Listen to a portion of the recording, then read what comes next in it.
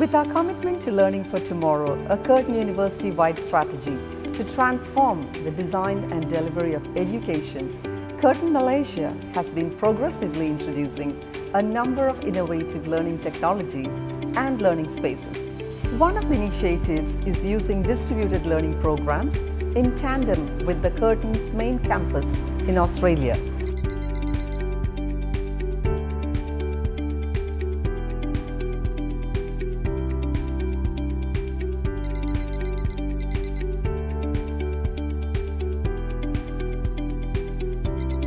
We have come out with distributed learning spaces, a flexible, collaborative learning classroom that has the capabilities of a collaborative learning space and class broadcasting simultaneously to another location.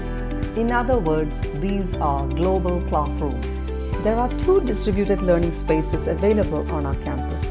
One is an upgraded classroom with a capacity of 50 students completed in 2015 at the Premier 3 building and another one accommodated in our new Faculty of Engineering and Science building in 2016 which can accommodate up to 100 students. Both rooms are well equipped with the latest technology in video and web conferencing.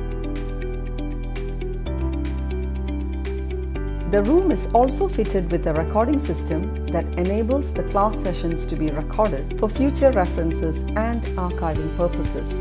Students can also avail of these resources at their own convenience. At the moment, there are five units being taught through the facility, consisting of units in engineering and business undergraduate courses. There are already plans in place to have more classrooms with distributed learning facilities within the campus.